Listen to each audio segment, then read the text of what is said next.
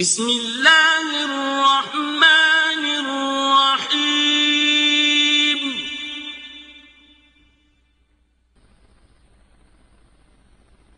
فلما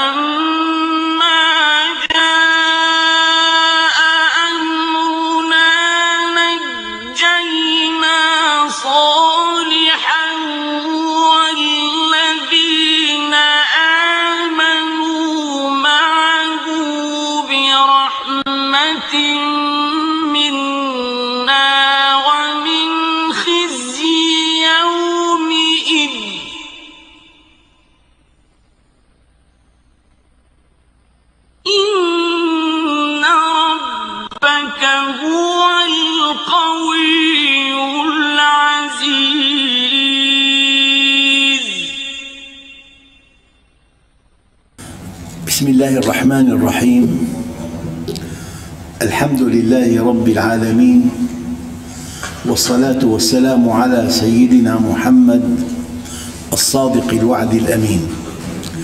اللهم لا علم لنا إلا ما علمتنا إنك أنت العليم الحكيم. اللهم علمنا ما ينفعنا وانفعنا بما علمتنا وزدنا علما وأرنا الحق حقا وارزقنا اتباعه.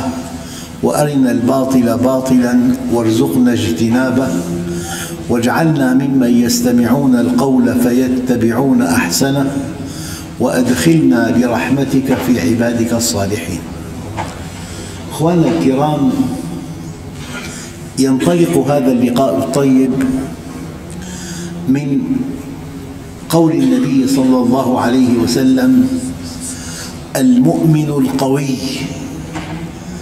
المؤمن القوي خير وأحب إلى الله تعالى من المؤمن الضعيف. وفي كل خير النبي الكريم جبار خواطر. المؤمن القوي خير وأحب إلى الله تعالى من المؤمن الضعيف وفي كل خير التعليل علة وجودك في الدنيا الوحيده العمل الصالح. والدليل لولا الدليل لقال من شاء ما شاء. الإنسان حينما يدنو أجله يقول رب ارجعوني لعلي أعمل صالحا. معنى ذلك أن علة وجودك الوحيدة في الدنيا العمل الصالح. والعمل الصالح سمي صالحا لأنه يصلح للعرض على الله. ومتى يصلح؟ إذا كان خالصا وصوابا. خالصا ما ابتغي به وجه الله وصوابا ما وافق السنة. هذا ملخص ملخص الملخص. للتقريب يعني إنسان أرسل ابنه إلى باريس لينال الدكتوراه من سوربون. مدينة أكبر مدينة بأوروبا عملاقة. فيها متاحف فيها متاجر فيها ملاهي فيها جامعات فيها سكن فيها دولة فيها وزارات. علة وجود الشاب في هذه المدينة الوحيدة. الدراسة. علة وجوده الدراسة. لذلك لا يمنع هذا أن يدخل مطعم ليأكل أن يشتري مجلة متعلقة باختصاصه أن يجلس في حديقة مسموح. لكن علة وجوده الوحيدة الدراسة. لو سحبنا هالمثل على حياة المؤمن علة وجودك الوحيدة في الدنيا العمل الصالح وين الدليل ربي ارجعوني لعلي أعمل صالحا. ما بيقول لعلي أبني الطابق الخامس؟ لعلي أتاجر بالمادة الفلانية. لعلي أعمل صالحا. فلذلك المؤمن العمل الصالح شيء مركز بحياته لدرجة مذهلة. لازم كل يوم يعمل عمل صالح. وباليوم مرتين باليوم خمس مرات وكل ساعة في عمل صالح. الصدقة عمل صالح والنصيحة عمل صالح وبر الوالدين عمل صالح رعاية الأولاد عمل صالح. كلمة واسعة جدا كل نشاطات المؤمن عندما يستيقظ وحتى يضع رأسه على الوسادة في أعمال صالحة. إذا دخل للبيت شكر زوجته على الطبخ عمل صالح. حمل ابنه حمله ضمه له عمل صالح. تكلم أستاذ في علم النفس كبير قال الطفل بحاجة باليوم إلى عشرين ضمة. غير أكل وشرب واعتنيت فيه.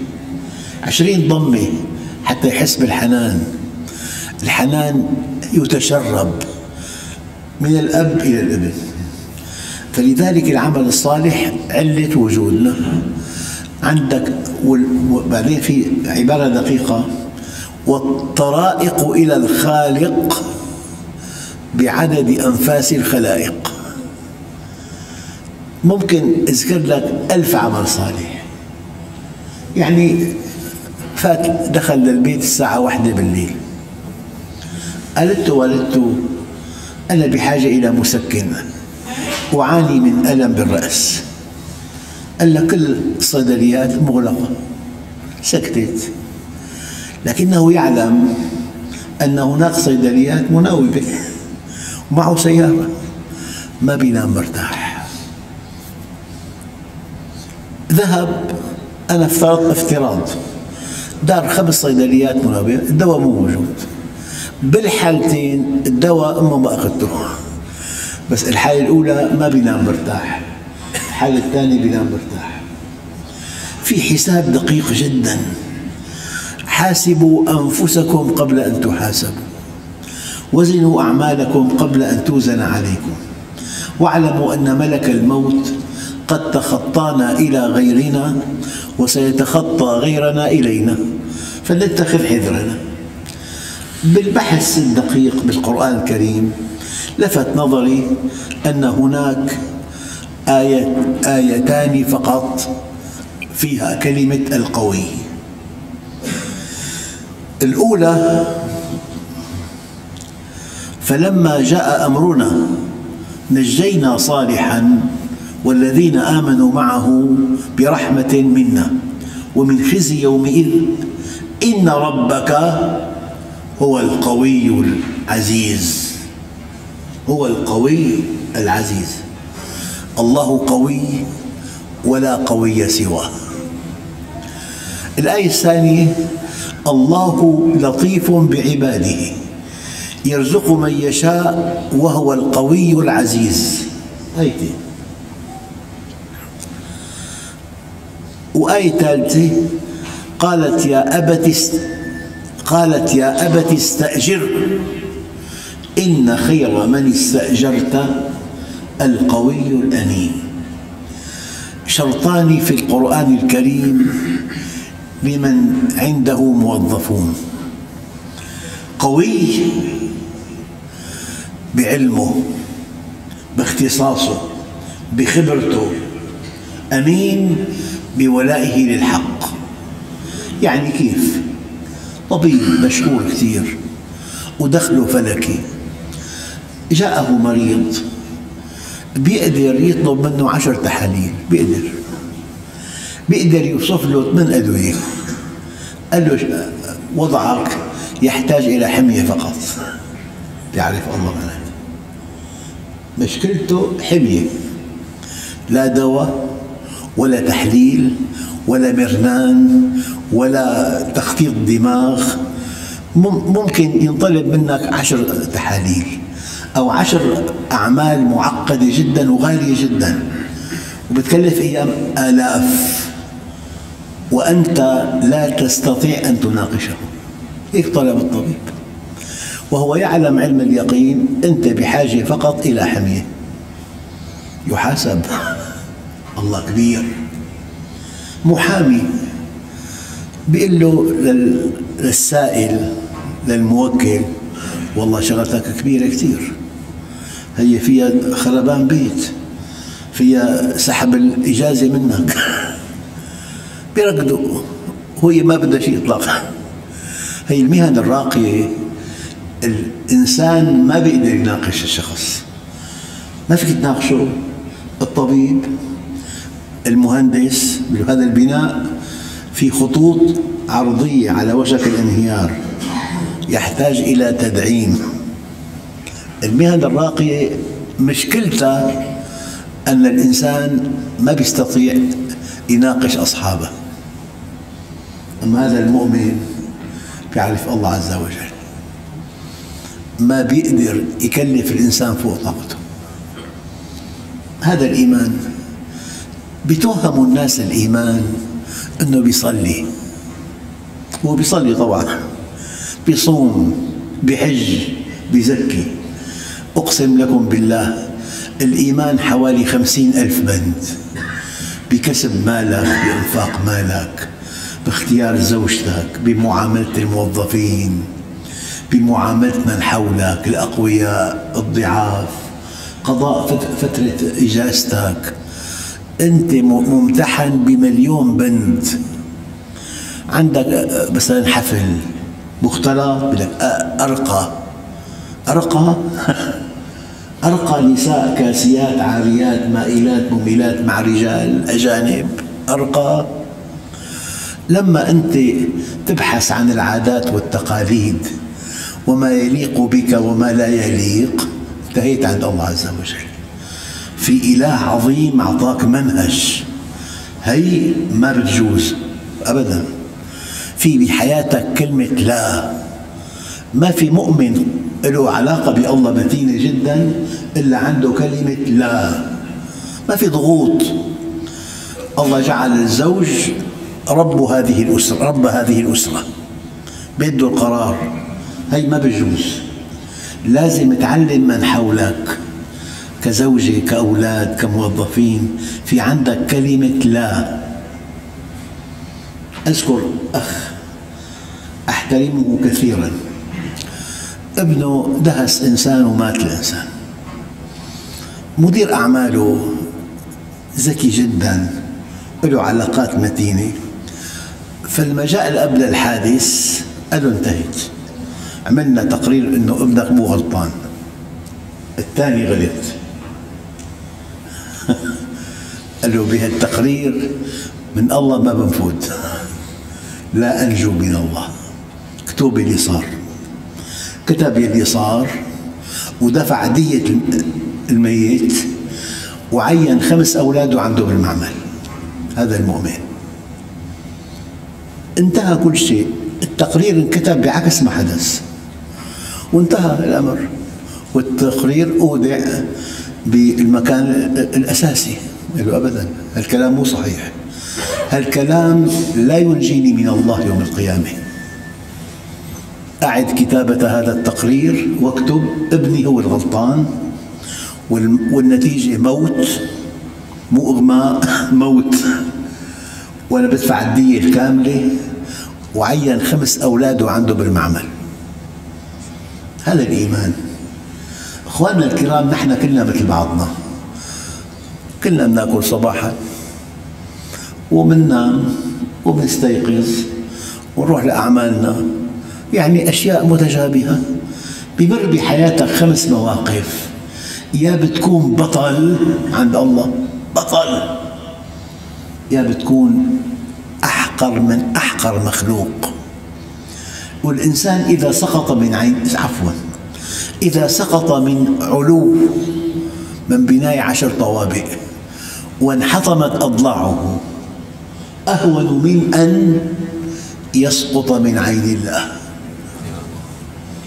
قد تكون فقير لكن أنت عند الله كبير. دخلك قليل تعاني ما تعاني. عندك مشكلة بالبيت بعملك بصحتك ما مشكلة. هي كلها ابتلاء فيها نجاح. أما أن تسقط من عين الله لذلك يطبع المؤمن على الخلال كلها. في مؤمن حاد الطبع مقبول. مؤمن هادئ مؤمن كلي مؤمن تفصيلي إلى آخره. إلا الخيانة والكذب. المؤمن قد تزل قدمه لكنه لا يكذب. ما بيكذب. تزل قدمه غلبته شهوة. في توبة. أما يكذب في مؤامرة. كذب ليس شهوة غلبتك. ولكن مؤامرة مؤامرة ولكنها مؤامرة خططت لها.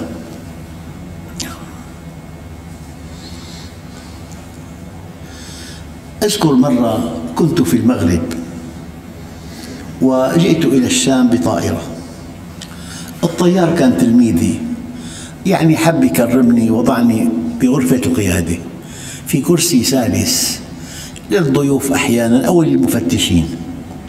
أنا جلست بالغرفة بالكرسي لما دخلنا إلى سوريا دققوا. رأيت بعيني هذه طرطوس وصيدا. بينهما خمسمائة كيلومتر. بنظرة واحدة. يعني على ارتفاع 11 ألف متر. لك أن ترى مسافة قدر 500 كيلومتر. نظرة واحدة. مرة رأيت حمص ودمشق معا بالطائرة. تعلمت درس لا ينسى. كلما ارتفع مقامك اتسعت رؤيتك. لو طبقناها على علاقاتنا اليومية ممكن إنسان يكون بالبيت ما في طعام أبدا. دخل لمطعم بالطريق وأكل أنفس الطعام. بالبيت ما في أكل. دبروا حالكم. اعملوا معكرونة افتحوا علبة لحمة. أما المؤمن يأكل بشهوة أهله. حتى في مؤمنين لو دعوا إلى طعام نفيس باليوم التالي يأتي لأهله بمثل هذا الطعام من من وفائه لهم فلذلك المؤمن له يعني خصائص مذهلة. له آلاف الخصائص تواضع محبة اهتمام بالوالدين. المؤمن ينطبق عليه قوله تعالى قول النبي الكريم أعطي كل ذي حق حقه.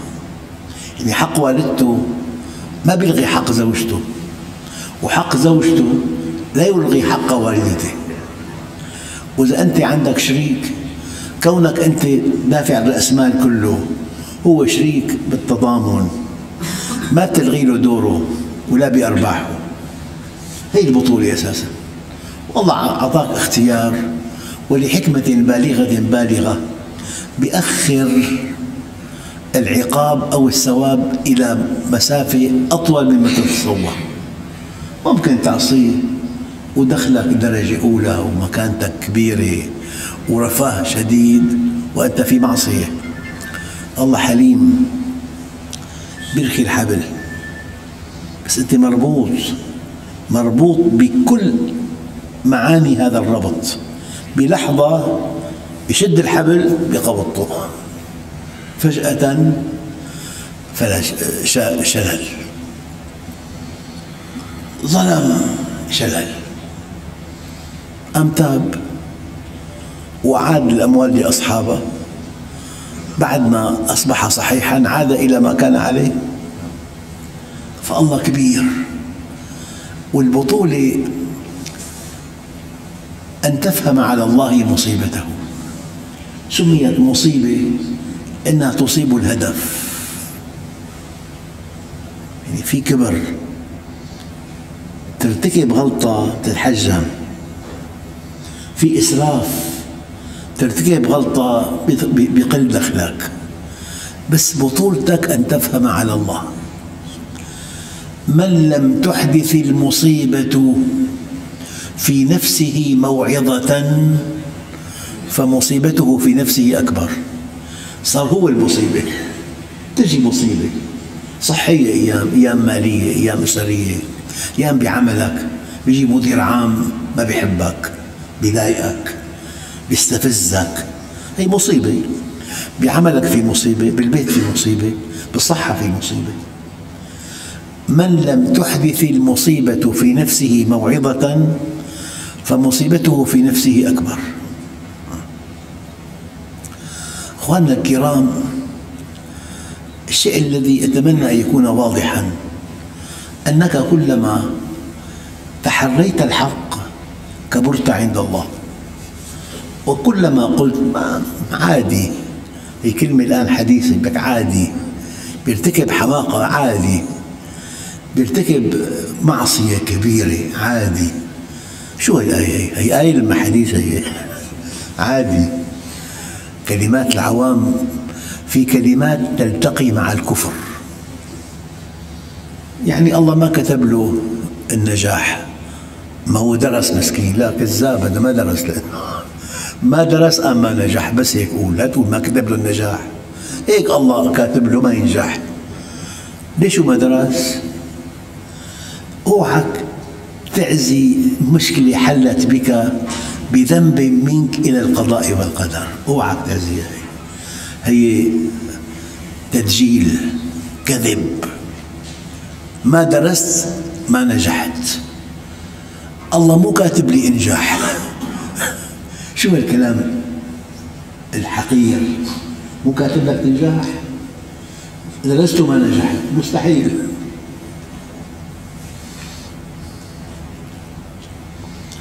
أخواننا الكرام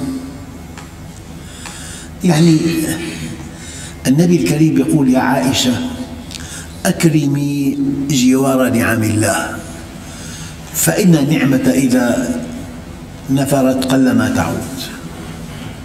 في بواقي. كل البواقي قبل أن تصنع طعاما جديدا. كل ما كنت ورع أكثر لا لا تعد طعام جديد قبل أن تنهي البواقي. هي في أدب مع الله عز وجل. يعني في لقطات مؤثرة تماما. كان في منطقة محتلة. في بلد عربي والجنود يلقون الخبز في المزابل وقد يبولون على الخبز. صافي ثلج وانعدم الطعام والشراب فاضطروا أن يأكلوا خبزا بالوا عليه.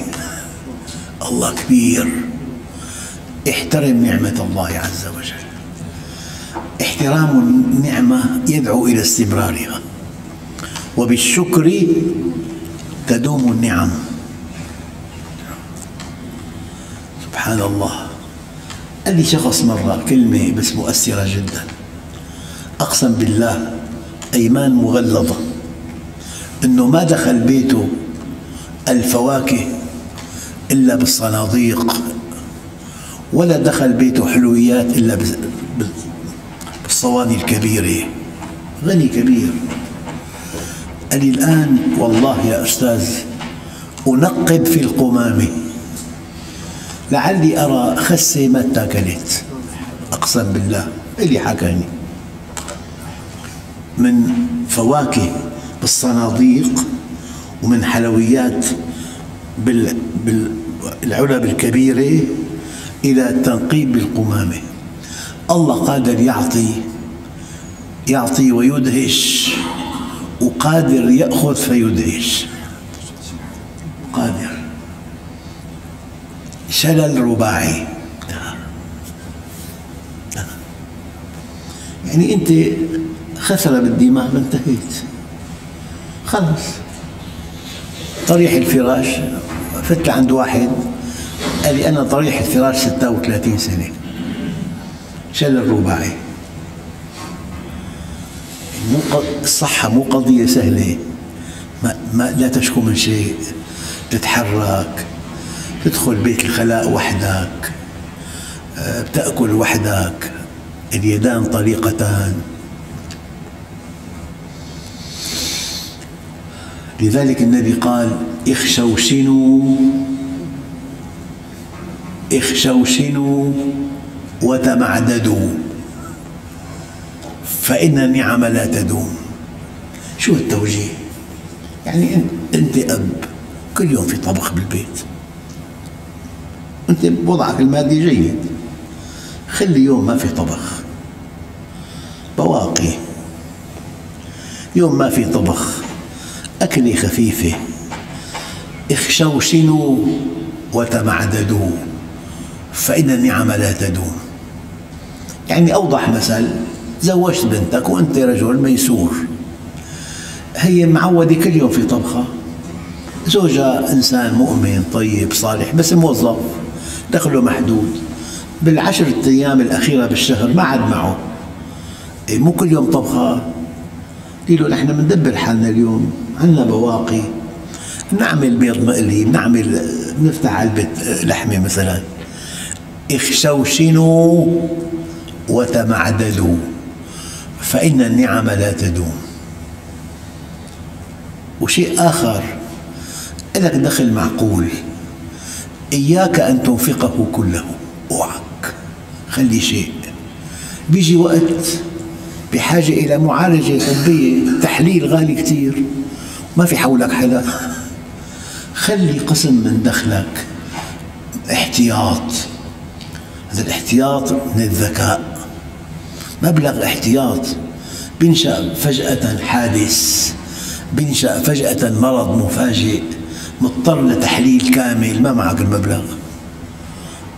بدل أن تستقرض وأن تتضعضع أمام الغني من جلس إلى غني أو قوي فتضعضع له ذهب ثلثا دينه.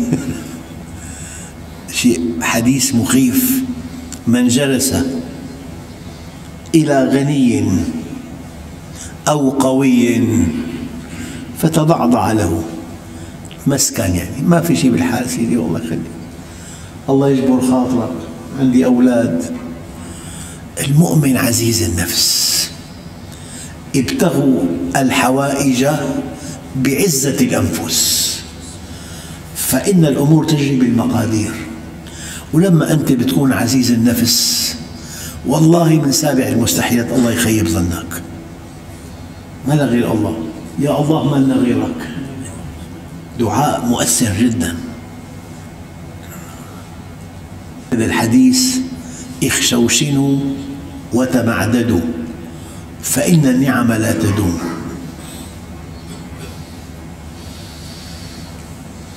هلا في ملاحظة بحب لكم إياها يعني هي مو أمر.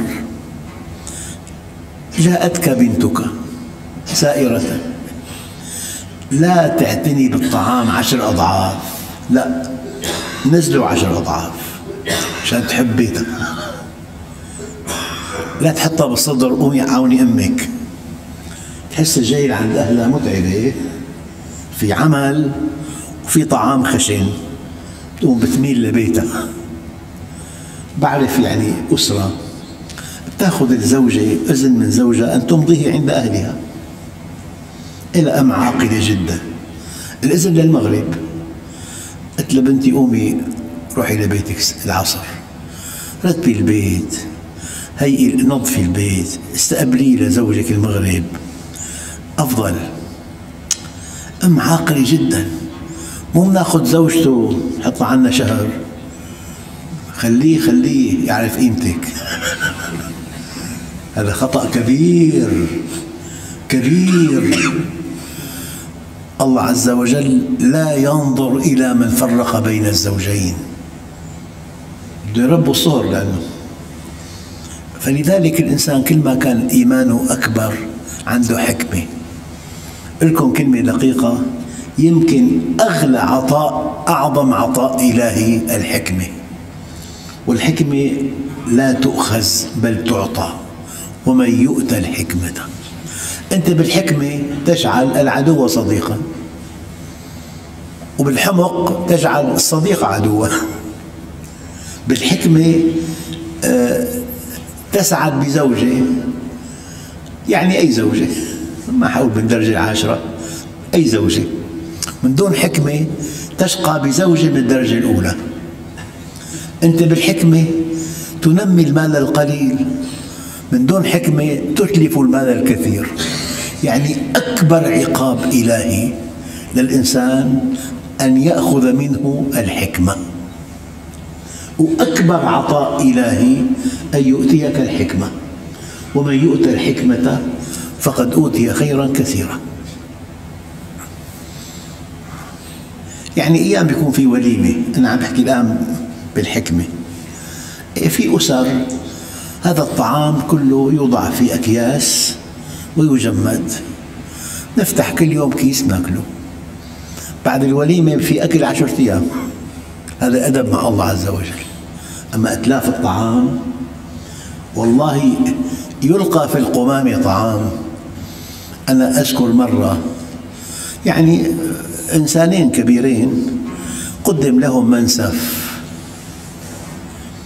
المنسف بطعمه حوالي 500 شخص. 25 آه، ذبيحة وجمل فوق وقطره 12 متر. شفته بعيني المنسف؟ الاثنين.